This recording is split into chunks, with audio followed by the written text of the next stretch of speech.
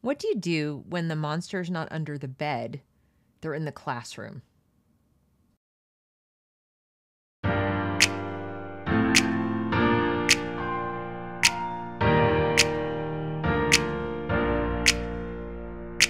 Erika Sanzi is going to talk to us about that in her latest piece. The monster is in the classroom. It's not coming, it's there.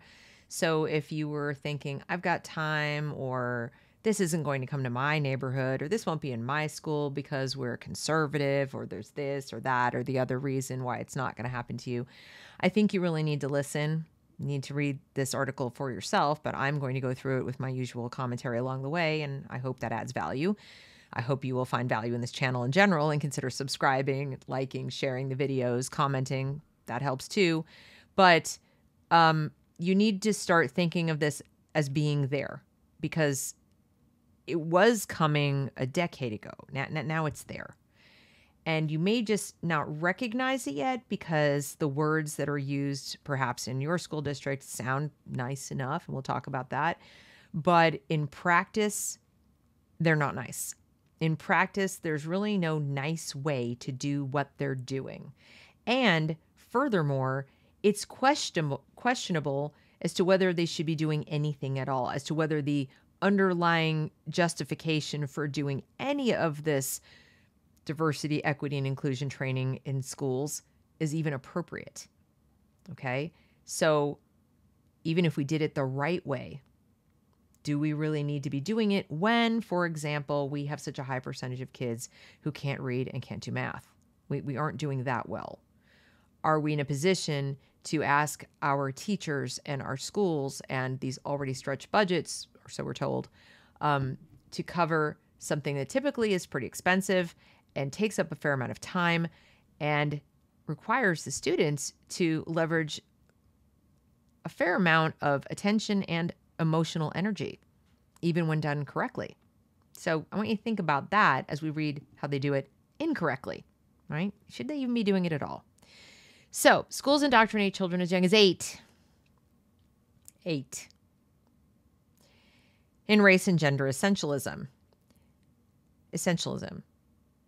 Essentially, that's one of the most important things about you. Your identity is wrapped up in something you can't change. It will never change. You cannot grow and develop, as my friend Ada said today on our live stream, around that because it's not going to change. And it might give you some hint as to why people are thinking they want to change their gender because they're desperate to make a change away from something they've been told makes them an oppressor or makes them a victim. Either of which could motivate someone to want to change, right? Something that was heretofore immutable, or so they thought. Anyway, let's continue. Many American parents may assume that culture war battles over critical race theory and wokeness are fought on legitimate terrain involving such matters as how high school students can best grapple with our nation's complex past. Perhaps they think that the sudden, suddenly ubiquitous topics of gender identity and preferred pronouns rankle only those parents who are old fashioned in their thinking. If only. America's youngest students are being bombarded with classroom activism and indoctrination that is inappropriate not only developmentally, but for public school systems in general. The contemporary obsession with identity has made its way into elementary school policy, curricula, and standards approved by state boards. While we continue to see poor reading and math scores, schools spend money and time confusing and shaming other people's children, yours Many educators and elected leaders have good intentions. They believe deeply that they are part of a necessary and long overdue movement to teach racial literacy, social justice, equity, and anti racism. But as virtuous as these terms may sound on their face, they mean something else in far too many classrooms. American schools are teaching young children race essentialism, reducing them to identity groups, putting them in boxes labeled oppressor and oppressed, and often inflicting emotional and psychological harm. Now, I want to back up to this a bit. Remember, I said it's a good idea to ask, is this even necessary? And some of you might be saying, well, of course it's necessary. We need to fight racism and we need to make sure we have social justice and equity and all of these things.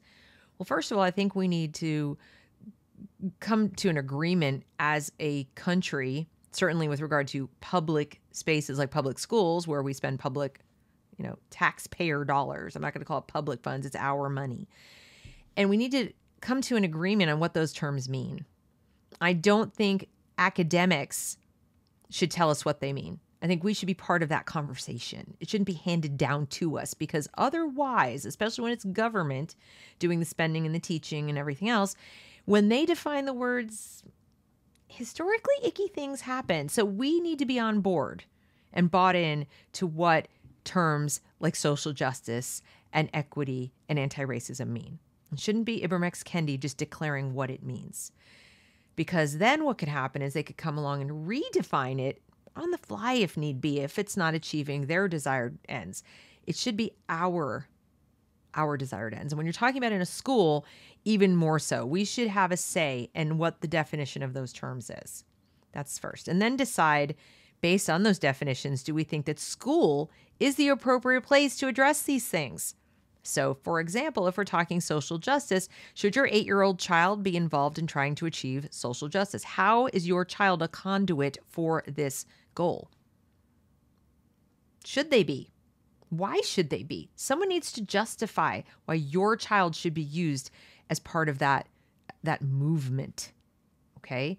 And finally, what if, just spitballing here, what if making sure every child can read and write and do math and be a, a, personally responsible, fully functioning individual adult upon graduation from high school, whether they go to college or not, if they are law abiding, if they are um, respectful, polite, capable of earning a living at something, have a skill, have an interest, are mentally healthy, reasonably, okay, well adjusted, have some idea of how to form friendships and sustain them.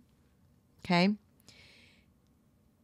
Explain to me how a population of people like I just described, where the majority are like that, irrespective of race, irrespective of their socioeconomic level, because school is supposed to be an equalizer, correct?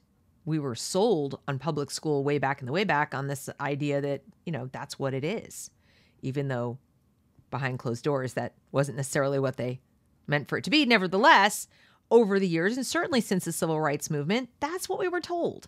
That's that was the promise of desegregation. It was going to be the great equalizer, these schools. So if the schools were doing their job of educating, as I just described it, irrespective of talk about race at all, explain to me how people who are critical thinking, rational, well read, uh, numerate, personally responsible, polite individuals, H- how is that society going to perpetuate evils like racism? How does that occur? Where does that occur? Because if all of these people are coming out of these schools and going out into the world to make their mark on the world and work at jobs, work with other people, have children, get married, etc., how's it going to last? Why? We're accepting on like at face value that we need to be doing this, but we're just doing it wrong. And I want to go back a step farther and go, should we even be doing this at all? If we did, if the schools did their job and it turned out educated critical thinkers, racism would be a thing of the distant past or it would exist in the individual minds of some very troubled people in isolated parts of our society where they were in hiding because it would be so shunned in public life. It just wouldn't be something that would happen. If you saw it, you'd be like, you know, it would be weird. Okay. But we're not doing that. We're, in fact, doing the opposite of that. We're spending an inordinate amount of time trying to teach people what to think about things, about race, and we're ignoring the reading and we're ignoring the math. I mean, we really are. We're taking a lot of time, instructional time, emotional time, physical time away from the core skills. And in pursuit of something called equity, we're, we're going to not look at grades. We're, you know, let's not do the standardized tests. Let's say, you know, let's not. Do, how are we going to know how we're even doing? How are we going to hold these schools accountable? How are we going to see the achievement gap? If we're so busy focusing on all this, we start doing away with standards and claiming it's part of the same social justice fight. Is school now the vehicle for social justice in America? Is that the purpose of education? Make them say it. Make them say that your child's purpose in being compelled to go to school by the government is to be an activist for progressive change. Make them say it. Ask the question why? Why are you using school at all to do this? Don't accept that it's a legitimate function of school. Question that. If this sounds extreme, that's because it is. I agree. It is not happening everywhere, but it is happening enough to have juiced a multi billion dollar nationwide industry. Sometimes the source is a rogue teacher whom the principal and superintendent admit they are trying to rein in. But increasingly, it is simply public officials implementing approved policies. I'm going to stop here. Public officials implementing approved policies. Very often, what you will find is people will look at what did they do in the next district? What did they do? You know, what does the board say we should do? What did you, what was the contractor they used over like who do you yeah okay let's use that too there's not a lot of thought that goes into choosing these things because again there's nobody really holding them accountable for the individual choice so it can be even used as evidence that well they used it in this district and you know they liked it so we're going to use it too or we heard good things so it's the one we know, or it's the one they're using statewide. You need to get in there and before they go paying for a program with your tax dollars, by the way, that is going to abuse your children and indoctrinate them, you should demand to know how they chose this particular program. So we've got why are we doing this in school at all? why are we doing this in school? In other words, this version of equity, this definition of racism, this definition of inclusion and all this stuff. And then, okay, you've already decided the the definitions of the words. You've, you've, you've you're already 50 steps ahead of where I think you ought to be. But why this one? Defend this program. It's not choosing Microsoft or Apple, okay?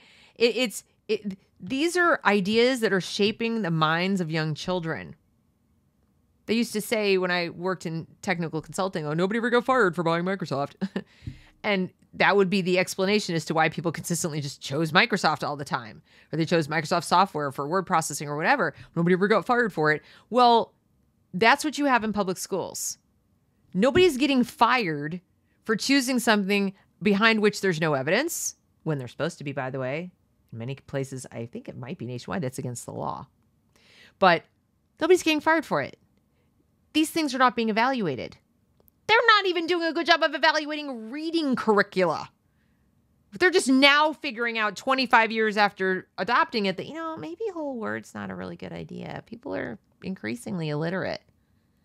We've known the reading science for a very long time, and yet they just will they bought it and they bought it and they're using it and they're using it. So take a cue from that. The way they've chosen the curriculum to teach your kid reading and math was somebody told somebody in authority told me it was good or i was told to buy it or i was told to use it or the president the department of education common core this that you know. Individuals who have the authority to make these choices are not being held accountable for the choices. That's on you parents. That's on you. No one else is going to do it. So this multi-billion dollar nationwide industry has sprung up and they know how to sell their product. That they're they're in it to sell their product.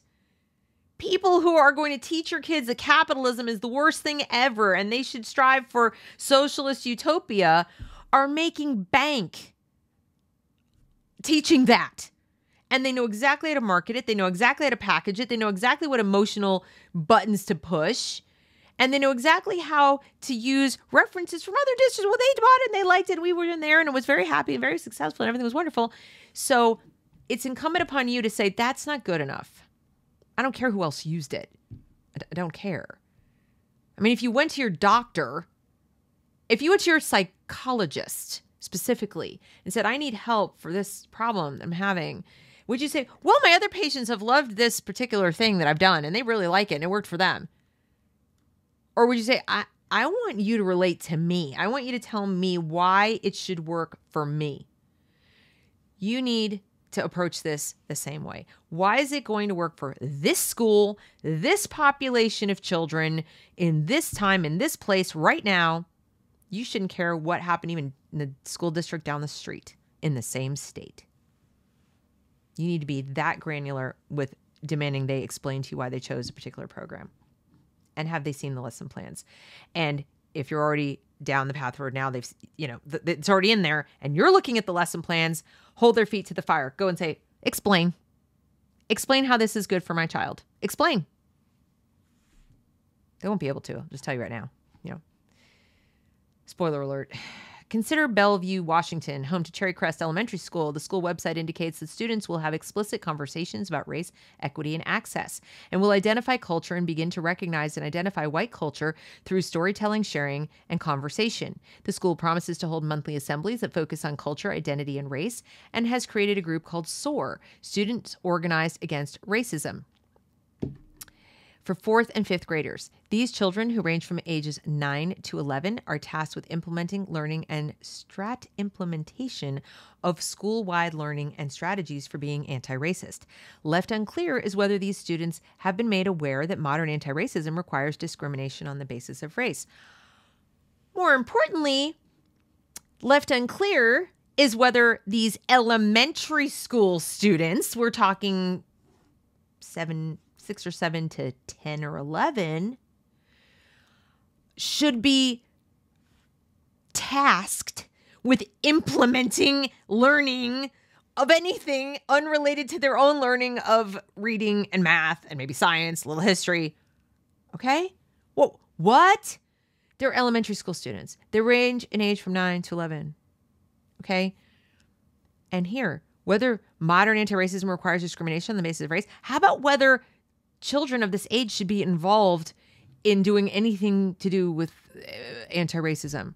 And let's take a look at these. We'll have explicit conversations. Oh, I need an example of that, please. About race. What is race? Can the school please define for me what race is? I'm dying to hear this one. Equity. Again, that would be helpful. Define equity, please. And access. Access to what? And why are the 9 to 11 year olds responsible for any of this? Why are they having explicit conversations about this stuff? None of this is their responsibility. It's not. It's the adult's responsibility to make sure that children have access, that there is, you know, equity or equal access or whatever. It's the adult's responsibility to make sure that the children treat each other respectfully by setting some basic boundaries and ground rules, not by drilling into the individual kid's head, you know, what to feel or what to think about what they feel and all of that. That is just not their responsibility.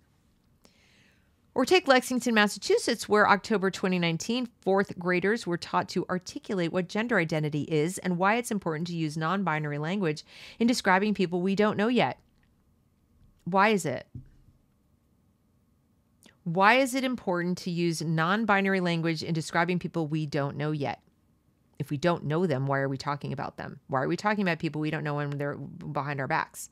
And if we make a mistake when it comes to what gender somebody is, why not teach humility and forgiveness and understanding and those kinds of things in young children instead of pretending there's a problem that is so widespread that there are so many people they're going to encounter that are non binary? So such a huge population that they need to alter the way they speak. Why are we burdening them with this extra little bit of anxiety about people they don't know and probably haven't even met? Why don't we just instead teach them to be nice people and when you meet someone and you're not really sure, you know, just be nice to them. Ask them their name. Ask them who they are, what they like to. Does it matter? Does it matter? And and here's another tip for you kids will work it out.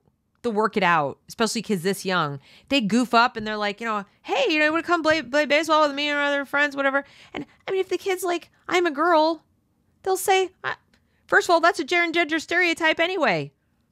What kind of mistake is the child going to make? I mean, I'm trying to come up with one, and all I'm coming up with is gendered stereotypes. What kind of mistake are they going to make? Where they accidentally, where they're going to accidentally say she? So the other kid says, actually, um, a boy. Oh, okay, sorry.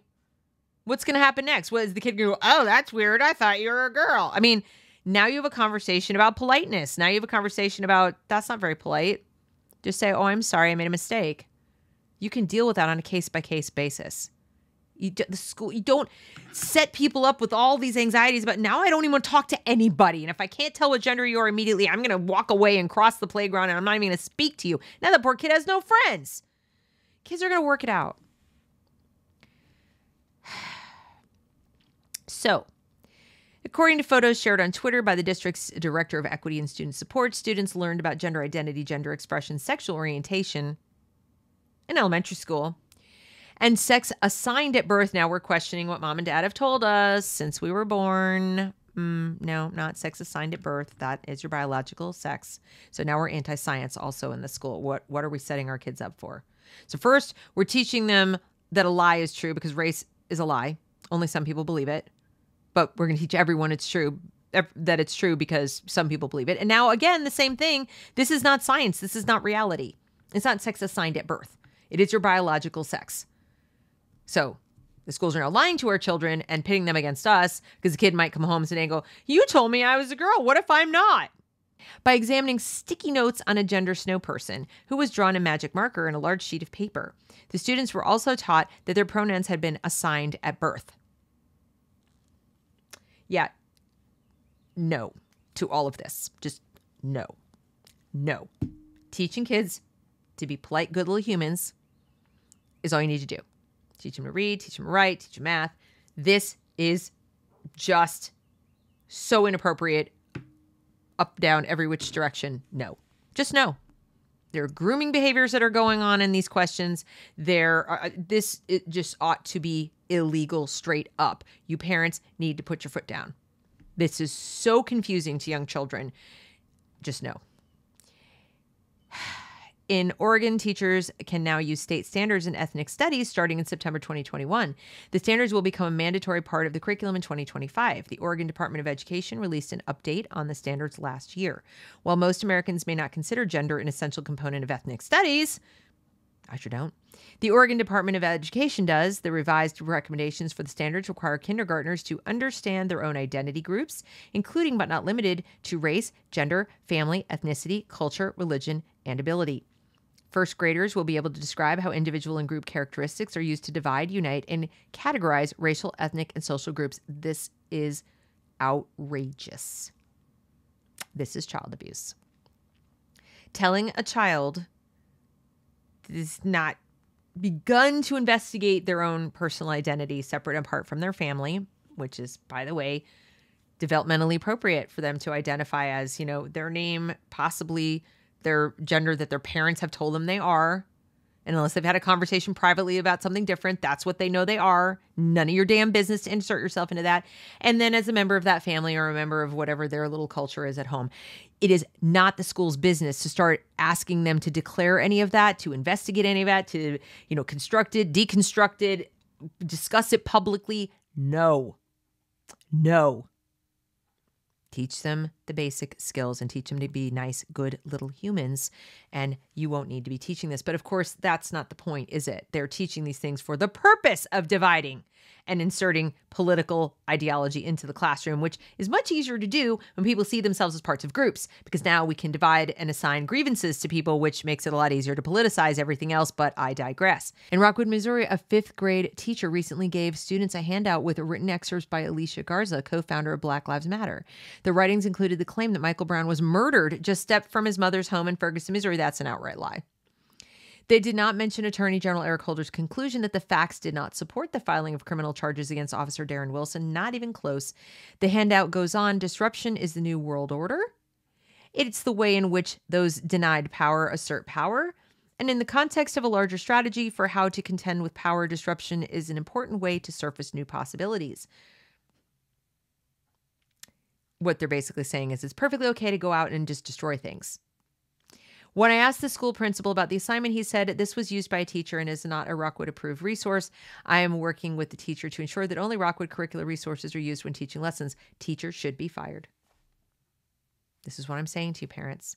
I'm working with a teacher. I'm CYA, CYA, CYA, CYA. Teacher's still there. What does working with mean? And why is the teacher still employed here? There are good teachers being blacklisted. They can't even get jobs. They're not getting permanent contracts because they ask questions about this curriculum. There are people of fear of losing their jobs for simply asking questions about this curriculum. And yet we're not hearing that this teacher was fired. And they probably aren't going to be. And you parents need to raise holy hell when this happens. You need to demand the termination of people who go rogue like this. It's not, well, we're working with them. If you did this at your job, if you went off script this much with your clients or whatever, and your boss had to come in and be like, yeah, well, that I did, you'd be fired, gone.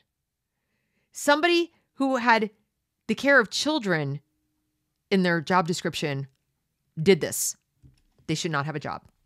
And they should never again have a job with teaching children. I will stay I will die on that hill. This past February, students in Evanston, Illinois listened to the book Not My Idea, a book about whiteness. Oh my God, I'm going to have to cover that book on this channel because it is insane. Parents were asked to discuss the book with their children at home. The book says that whiteness is a bad deal. It is a bad deal because it doesn't exist. Whiteness isn't a thing, it's a construct. You're now asking elementary school children to understand a construct that you made up for which there's no basis in evidence. You literally made it up. You made it up. You might as well go in and teach them about the spaghetti monster.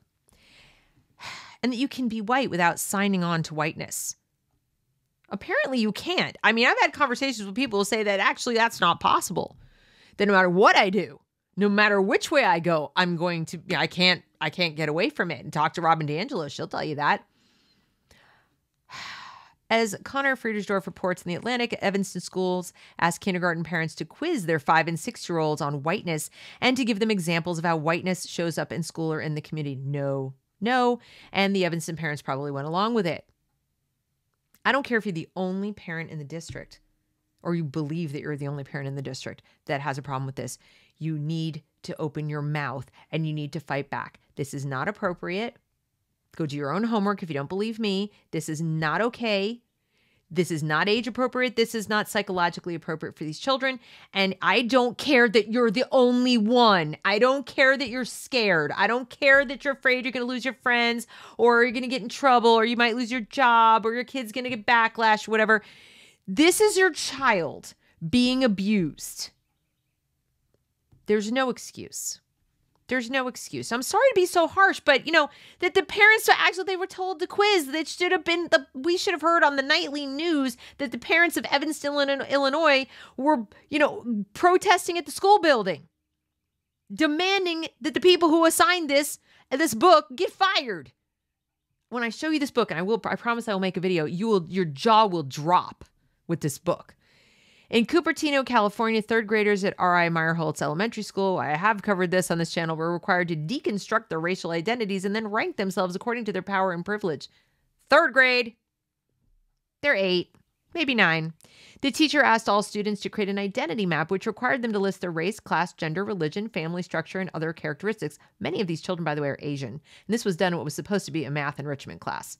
The teacher explained to students that they live in a dominant culture of white, middle class, cisgender, educated, able bodied Christian English speakers who, according to the lesson, created and maintained this culture in order to hold power and stay in power. Students were then asked to deconstruct these intersectional identities and circle these the identities that hold power and privilege on their identity maps, ranking their traits based on the hierarchy the teacher had just explained to them. The teacher's like, I'm giving you this and I'm telling you to do this thing, and now you're going to do it, and there's no questioning. There's a, these are eight or nine year olds. Uh, it's okay, you know, no ability at all to question whether any of this is even real.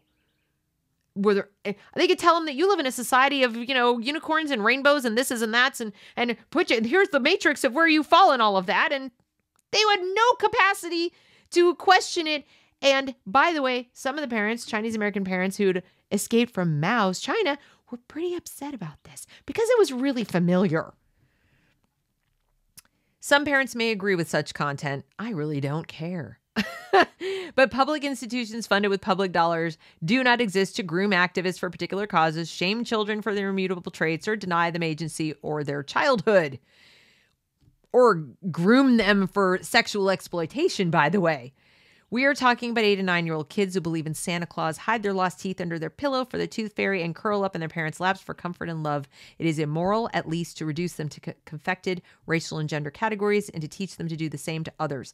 Parents around the country need to understand what is happening in growing number of elementary school or elementary classrooms. You need to not just understand it, guys.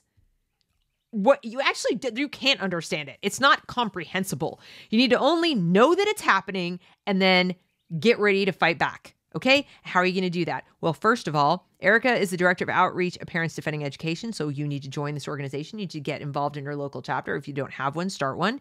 You need to know the law. You need to have it memorized. You need to print out copies of it carried around with you. You you can go into the school and demand that people be held accountable when they violate the law. Your child has rights, you have rights. You need to learn what they are. They are violating several of them by the way in many of the, in these trainings. Um I'll have to do a separate video on that, but this is unconscionable. So, as I said, you got to go really all the way back to like should we even be doing this at all? Is this the proper role of government? Period. Is this the proper role of government school? And then get down from there. But if it's already in your school, it's too late. They already decided. They already decided. So put together your principled arguments about why you think it's not, demand accountability, hold people accountable, and don't stop until you get it. Don't stop. It's time to get brave for your kids because this will mess them up for a long, long time, possibly for life. All right. So Again, thank you for watching. If you find this content helpful, please like, share, and subscribe. That's the video.